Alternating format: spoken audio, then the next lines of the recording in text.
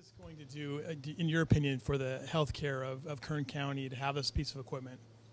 I think it's uh, an important piece of equipment to be able to diagnose more accurately as to what the level of disease is, to have fewer false positives, or more importantly, fewer false negatives where we would miss disease and treat people appropriately, and people wouldn't have to travel outside of Kern County to get this level of testing. And not to mention the future advances that come with it, and all this comes with less amount of radiation as compared to the traditional SPECT. So you're getting essentially more information with a lot less radiation. Now, previously, it was pretty common that the people would have to leave to go to have this kind of testing done. Where would they normally would have gone? Well, it would certainly be out of Kern County, and people would go to C- uh, Los Angeles, to UCLA, or Cedar Sinai. It's to bring a higher level of testing closer to home. And this um, particular equipment, um, ha- do, what do you have to do to be trained on it, or what kind of training did Central Cardiology have to do to, to be trained on this equipment? Well, there's a lot that goes into setting up a unit like this between getting the infrastructure for the staff first to get uh, have a separate piece of infrastructure in the building, meet all the regulations. Then you have to have the generator on site to be able to produce the isotope for it, and then uh, go with all the safeguards that go with it. And as a physician, uh, certification in nuclear cardiology and PET to be able to read it and to safely administer the test for the patients who are here.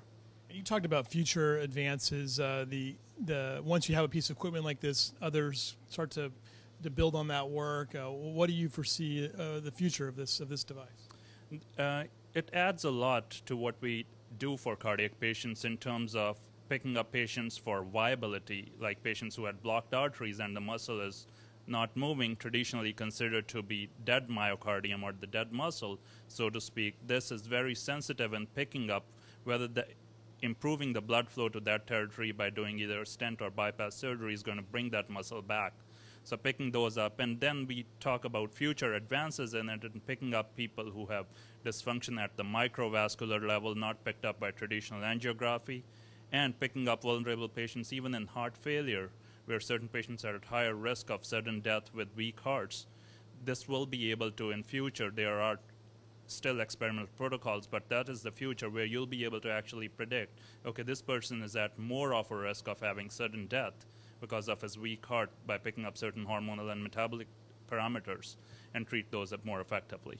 And just on a personal note, um, Dr. Bombi made the point that it's exciting to have good information for you as a physician. Uh, how exciting is it for you to work with this equipment and have it here uh, at your disposal?